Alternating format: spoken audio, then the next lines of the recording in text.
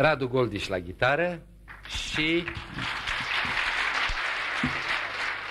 și unul din cei mai productivi compozitori de jazz românesc, Johnny Răducan.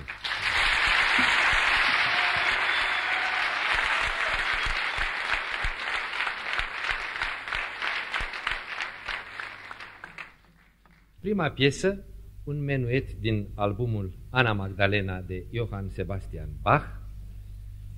A doua piesă, Saint Thomas, a saxofonistului Sonny Rollins. A treia piesă, Alone Together, a contrabasistului Ron Carter. Iar ultima piesă, o compoziție a lui Johnny Răducanu, dedicată celei de-a șaptea ediții a festivalului, și publicului din Sibiu, intitulată Sibiu 77.